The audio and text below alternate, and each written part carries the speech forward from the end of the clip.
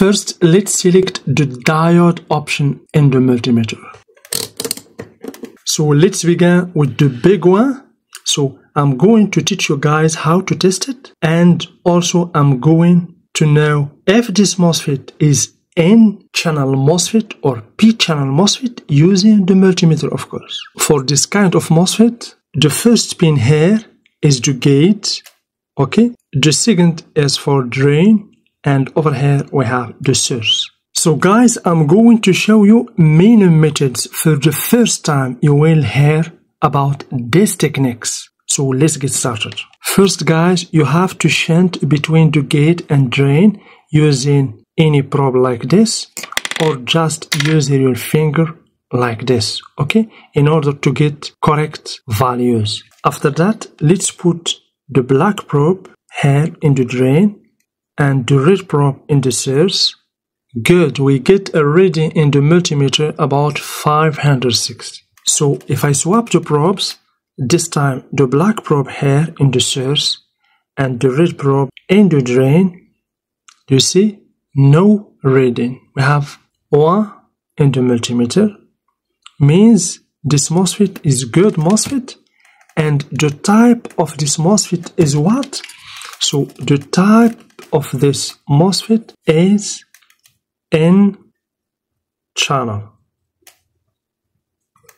Okay guys, why N channel?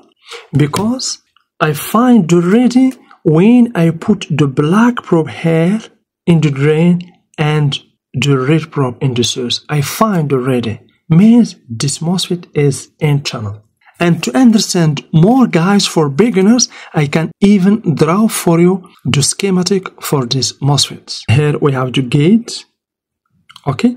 Here, let's see, we have drain and over here we have source.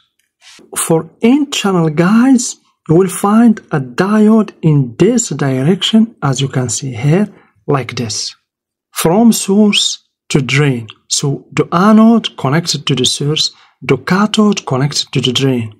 That's why I get a reading when I put the black probe in the drain here okay? Black probe in the drain and the red probe in the source. So black probe here in the drain red probe here in the source as you can see okay we get a reading black probe in the drain red probe in the source but if I touch the gate guys like this and go and check again we get no stable reading means this MOSFET is good so let's discharge the MOSFET again I can even swap the probes like this guys. Pay attention. Here we get a reading. Do you see? This is the second method. Here we get a normal reading as you can see. 460. This is normal reading. But if you touch the gate, the reading will be a little bit low. Do you see? 100. So this is guys the techniques and methods I'm sure you hear this technique for the first time. Sometimes when you touch the gate, you will get a buzzer, a continuity, but sometimes you can just get a lower reading. Let's discharge the MOSFET again and do it again. So this is normal reading here. We have 460.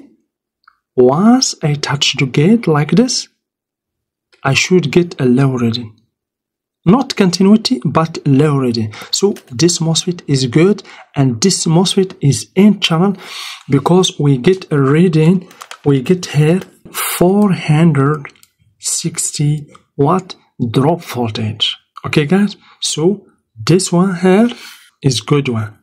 Okay? Let's move on to another MOSFET